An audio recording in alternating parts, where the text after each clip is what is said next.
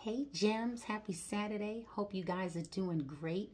Welcome back to another episode of Dawn's Jewel Drop. Um, I'm so thankful to have you guys on this road with me, this journey with me.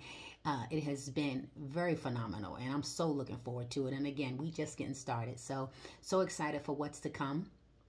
But, Gems, I want to jump right in. So, right now, the season that I'm in, I am taking a season to spiritually cleanse. So that will involve fasting and praying, uh, reading my word, spending time in praise and worship, just uh, being very intentional about it, uh, being disciplined about it, being obedient about it. And because they always say if you want something you never had, you have to do something you never did. So I am looking forward to what God is going to reveal to me as He pushes me further into my calling. Um, I'd like to tap into all of the many gifts that He has um, given each of us. Sometimes, in order to tap into those gifts, we have to uh, spend time spiritually cleansing. So that is what I'm doing, and I hope that it will encourage someone to do the same if you are not doing it already. But um, what I want to talk about, Gems, is not so much uh, the process of, of spiritual cleansing, but what is revealed to you while you are being spiritually cleansed? Because you know you're going to find out some things maybe about yourself maybe about others that you didn't know existed and sometimes those things are not going to feel so good. I mean they may be uncomfortable but they are definitely things that need to be revealed and that is why god is revealing them. So those things can be considered sometimes burdens. So, what I want to talk about is we need to stop carrying the burdens so that we can birth the blessings. So, that's what we're going to dig into real quick. But, um, my question to you, Gems, is what burdens are you carrying? What is holding you back from tapping into all that God has for you, for knowing what your purpose is, for fulfilling your destiny? You know, so many times uh, we walk around very heavy or we put a we, we carry a lot. And there's things there's weights that we carry that some it's just too heavy to bear. It, it, it comes with too much pain but we don't know how to release them.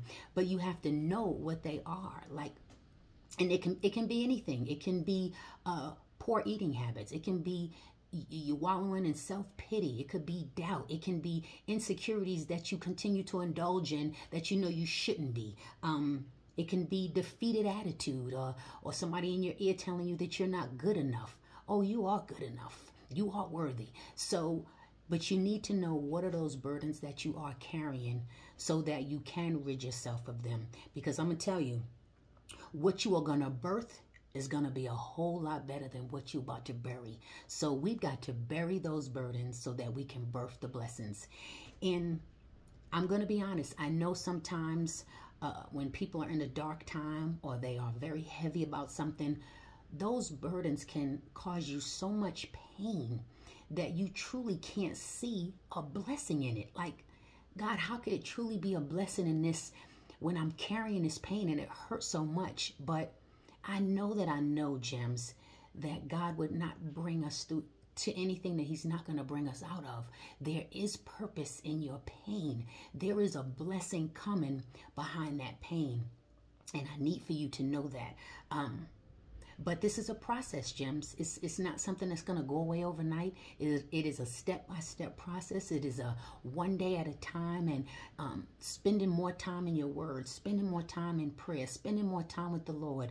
Um, you can uh, lock in get get yourself an accountability partner uh, people that want to help you and encourage you and just to keep you moving. We need we all need that. We can't do this by ourselves. We weren't designed to do this by ourselves and we don't have to do this by ourselves.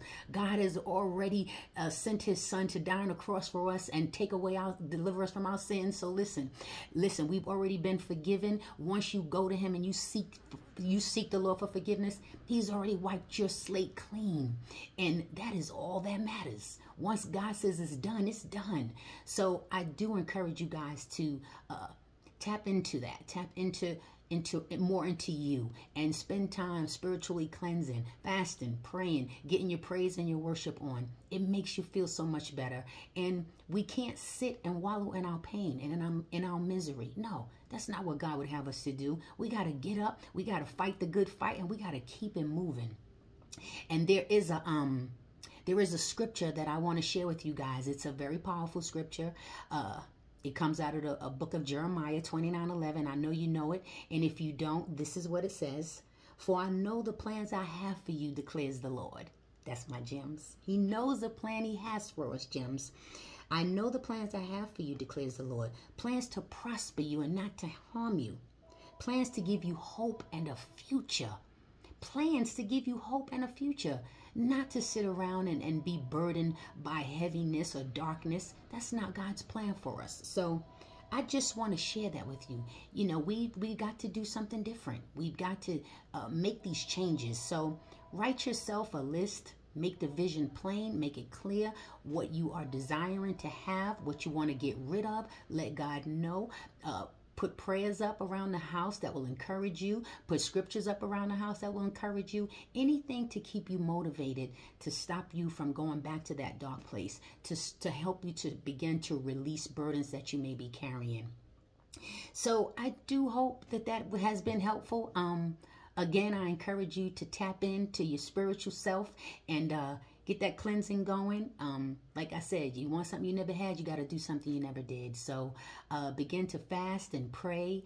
And there's all kinds of scriptures in the Bible on fasting. Um, and, and you can always call me. We can talk about it, spend time together one on one. But I, again, I do hope that that has been encouraging to you. Uh, don't let the enemy defeat you. Uh, the enemy is under our feet, and he can't win. We have, we already have the victory. We just got to learn how to tap into it and uh, get all that God has for us. But I love you, gems. Um, enjoy the rest of your weekend, and I will see you all next week. Okay.